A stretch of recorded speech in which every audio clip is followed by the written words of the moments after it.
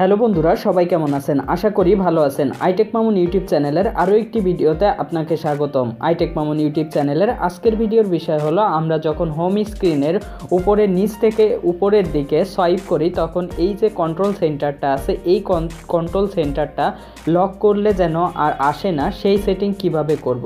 কেননা আমার ফোন যদি লক অবস্থায় ইয়ে কর নিচের থেকে উপরের দিকে সোয়াইপ করি, তাহলে ওয়াইফাই মোবাইল ডাটা এইগুলো অন করা যায়।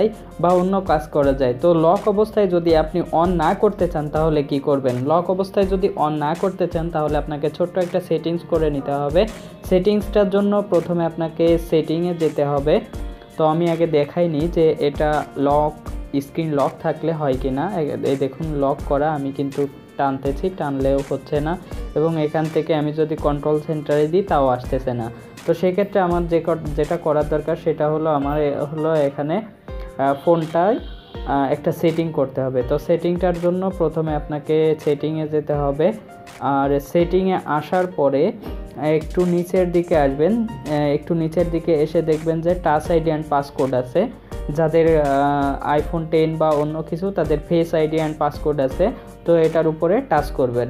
এটার উপরে টাচ করার পরে জাস্ট এখানে হলো আপনার যে আইডিটা আছে, বা পাসওয়ার্ড আইডিটার পাসওয়ার্ড মানে ফোনের পাসকোড যেটা আছে সেটা দিবেন, দিলে এখানে এই ন্যাবেল অপশনটা পাবেন, এখানে অপশনগুলো দেখতে পাবেন।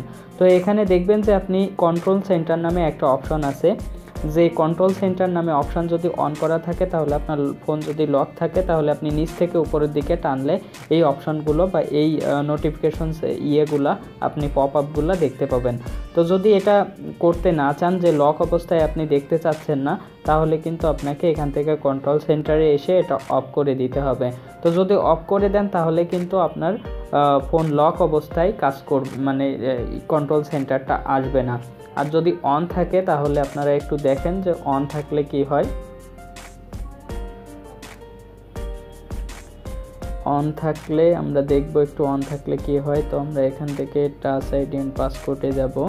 টাচ আইডি অ্যান্ড পাসকোডে যাওয়ার পরে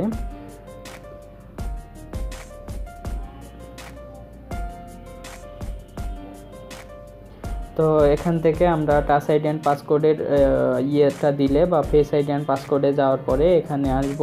এসে কন্ট্রোল সেন্টারটা অন করে দিয়ে দেখব যে আমাদের লক থাকা অবস্থায় হয় কি না টাচ করতেছে না। হ্যাঁ। তো এখানে আমরা অন করে দিলাম অন করে দিয়ে আমরা এখন দেখব যে আমাদের হোম স্ক্রিনে দেখায় কি না তো আমি আগে আবারও বলতেছি, যদি আপনারা অফ করে রাখেন তাহলে এরকম টানলে আসবে না, আর যদি অন করে রাখেন তাহলে এরকম টানলে আসবে।